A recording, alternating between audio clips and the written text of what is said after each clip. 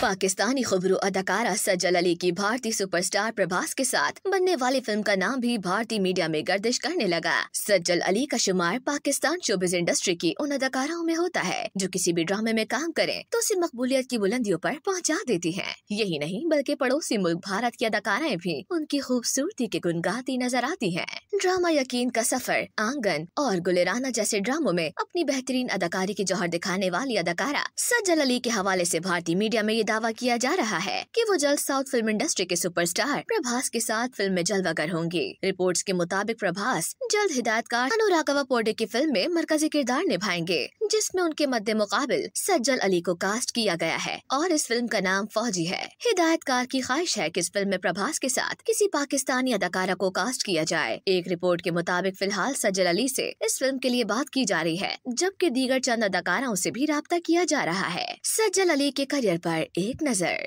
सज्जल अली ने साल 2009 में ड्रामा नादानिया में एक छोटा सा किरदार निभाया था, जो नाजरीन को जहनशीन हो गया। फिर 2011 में तीन सौ सत्ताईस अकसात पर मुश्तमिल ड्रामे महमूदाबाद की मलिकाए में एक शोख और निडर लड़की का किरदार निभाती नज़र आई, जो सबके दिलों में सज्जल अली को पहचान दिलवा गया। सज्जल अली ने ड्रामों में शानदार अदाकारी के बाद फिरोज खान के साथ फ़िल्म ज़िंदगी कितनी हसीन है में काम किया, जो साल 2016 में रिलीज़ हुई। 2017 में सज्जल अली बॉलीवुड की दुनिया में भी अपना सिक्का चलवाने निकल गई और अनजानी अदाकारा श्रीदेवी के साथ थ्रिलर फ़िल्म मॉम में उनकी बेटी का किरदार निभाती नज़र आई। प्रभास के शोबिस करियर पर एक नज़र। प्रभास ने साल 2002 में ड्रामा ईश्वर से अदाकारी की दुनिया में कदम रखा और 2004 में फ़िल्म मरशम से फिल्मी दुनिया में एंट्री देकर अपनी खास पहचान बना ली। प्रभास ने दीगर सुपरहिट फ़िल्मों में भी काम किया, जिनमें छत्रपति डार्लिंग और मिस्टर परफेक्ट शामिल हैं, लेकिन उनको आलमी शोहरत याफ्ता अदाकार बनाने वाली फ़िल्म बाहुबली है जिसने कामयाबी के झंडे गाड़े और सबकी ज़ुबान से एक ही सवाल जारी रहा कि कट्टापा ने बाहुबली को क्यों मारा?